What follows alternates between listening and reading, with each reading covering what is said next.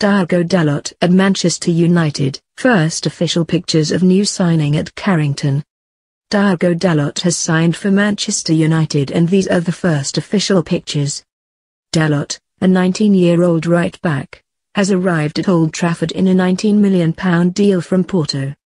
He only made his first team debut for Porto in October 2017 and racked up just eight appearances for Jose Mourinho's old side before the end of the season.